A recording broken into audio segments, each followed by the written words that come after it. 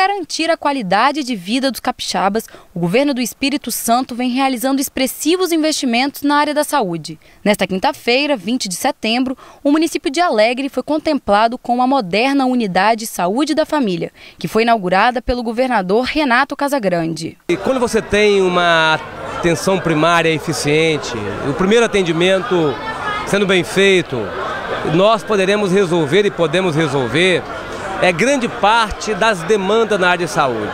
Um, um, atendimento feito, bem feito na unidade de saúde, evita que uma pessoa vá procurar um hospital, vá ocupar um leito do hospital. Esta já é a vigésima unidade de saúde da família inaugurada pelo governo, que até em 2014 vai entregar outras 53 unidades por todo o estado.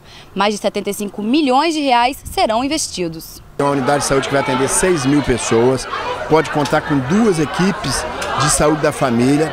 Então ela é uma unidade que qualifica o atendimento, né, porque ela melhora o ambiente de trabalho, ela oferece novos serviços dentro de uma unidade de saúde, como é, salas odontológicas, salas de pequena cirurgia, auditório para fazer educação em saúde. Além da saúde, o governo também levou mais segurança para Alegre, por meio da instalação de um plantão 24 horas na delegacia de polícia.